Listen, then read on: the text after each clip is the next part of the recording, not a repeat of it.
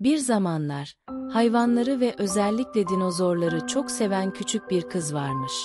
Bu tatlı kızın adı Zeynep Ela'ymış.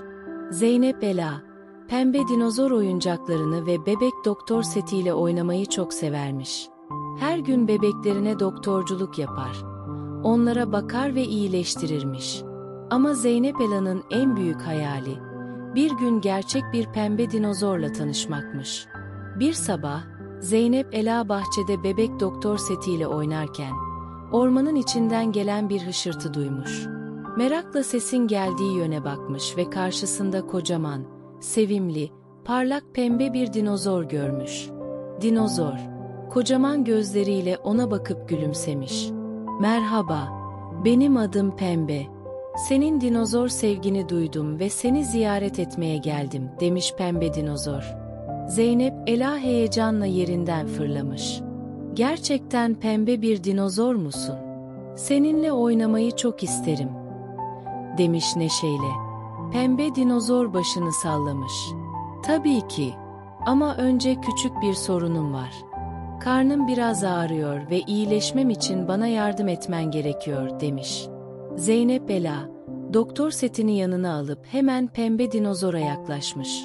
Dinozorun karnına dikkatlice bakmış ve benim doktor setimle seni iyileştirebilirim, demiş.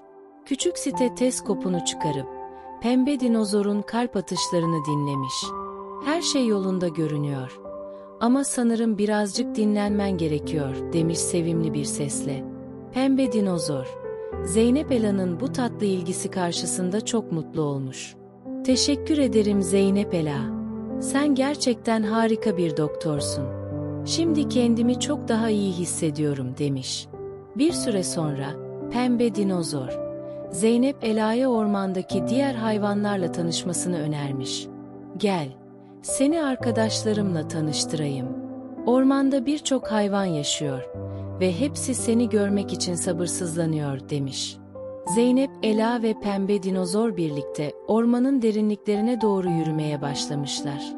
Yolda renkli kuşlar, sincaplar ve tavşanlar onlara eşlik etmiş. Her köşe, Zeynep Ela'nın hayal bile edemeyeceği kadar büyülüymüş. Ormanın kalbine vardıklarında, Zeynep Ela bir grup yavru tavşanın ağacın altında oynadığını görmüş. Tavşanlar o kadar sevimliymiş ki, Zeynep Ela hemen onlarla oynamaya başlamış. Tavşanlardan biri, küçük bir kuyruğu yaralanmış gibi görünüyormuş. Zeynep Ela, hemen doktor setini çıkararak yaralı tavşana yardım etmeye başlamış. Pembe dinozor da onun yanında durmuş ve ona moral vermiş. Senin doktorluk yeteneğin burada çok işimize yarıyor Zeynep Ela. Tavşanların da sana ihtiyacı var demiş. Zeynep Ela, nazikçe tavşanın yarasını sarmış ve onu iyileştirmiş. Tavşan, hemen Zeynep Ela'ya teşekkür etmiş ve neşeyle zıplamaya başlamış. O andan itibaren, tüm hayvanlar Zeynep Ela'yı çok sevmiş ve ona teşekkür etmişler. Zeynep Ela, pembe dinozor ve hayvanlarla ormanda daha fazla vakit geçirmiş. Onların oyunlarına katılmış ve hepsine yardım etmeye devam etmiş. Pembe dinozor, Zeynep Ela'ya dönüp demiş ki, sen harika bir doktorsun ve hayvanlara çok iyi bakıyorsun. Ormanımız seni her zaman bekliyor. Ne zaman istersen, tekrar gelebilir ve bizimle oynayabilirsin. Zeynep Ela, bu büyülü ormanı ve hayvan dostlarını çok sevmiş. Sizi her zaman ziyaret edeceğim demiş neşeyle. O andan itibaren Zeynep Ela, doktor setini yanından hiç ayırmamış ve hayvan dostlarına her zaman yardım etmeye hazır olmuş. Daha fazla masal için abone ol butonuna basmayı unutmayın. İsme özel masal yazdırmak için web sitemizden talepte bulunabilirsiniz.